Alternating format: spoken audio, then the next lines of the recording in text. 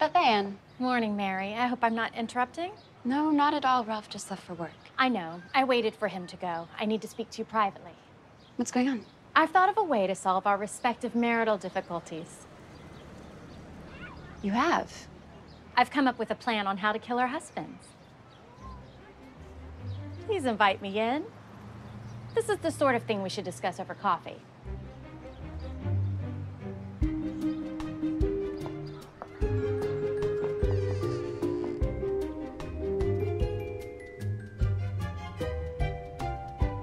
That's the plan.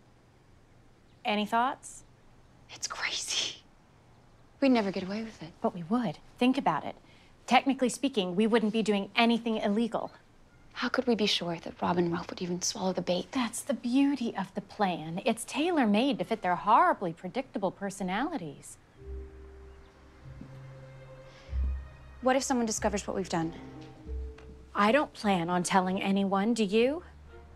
I don't know. Ralph deserves to die. And after everything Rob's put you through, he's just as bad. But the Bible says, thou shalt not kill. God might not understand. Maybe not. But I'm sure God's wife will. Now, what do you say? So while you copy the letter in your handwriting, I'll be upstairs cleaning out your closet. You said Ralph gets home around 6.45? Sometimes as early as 6.30. Rob gets home around 6.15 and it's almost 5. We need to get cracking. Beth Ann, when Ralph reads this, he will absolutely get violent. We can only hope. You look like an angel.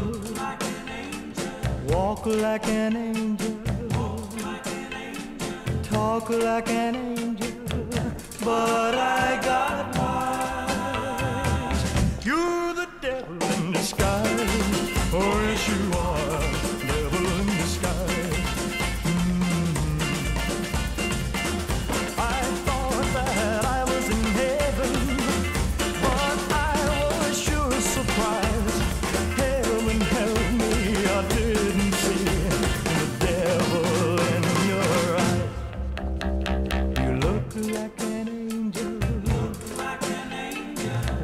like an angel. Like an angel. Talk like an angel. But I got wise. You're the devil in disguise. Oh.